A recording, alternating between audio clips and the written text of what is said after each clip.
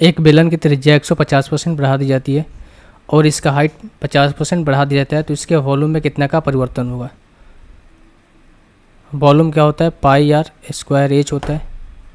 तो जो भी चीज़ें यहाँ पर डिसाइड होंगी डिसाइडिंग जो फैक्टर होगा, वो पाई दोनों में कॉन्स्टेंट कॉन्स्टेंट होगा आर और एच पर डिसाइड करेगी। तो यहाँ से ये हो जाएगा कितना आपका? आर वन और ये हो जाएगा आर टू ये हो जाएगा एच वन ये हो जाएगा एच टू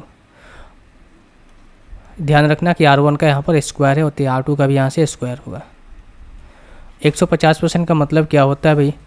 तीन बटे में दो, यानी कि पहले आर कितना था? आर वन कितना था? दो का दो का स्क्वायर चार हो जाएगा तो अब इसमें तीन बढ़ गया, कितना हो गया? पाँच हो गया, पाँच का स्क्वायर पच्चीस होता है।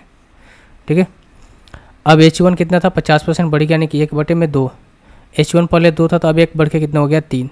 इसमें मल्टीप्लाई कर लो। तो हो जाएगा कितना आपका? चार दूनिक आठ, हो जाएगा कितना आपका? पचहत्तर।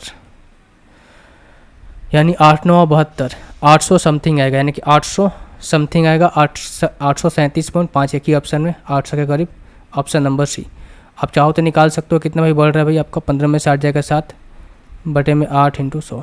करोगे कितना आएगा? आठ सौ सैंतीस दशमलव पाँच।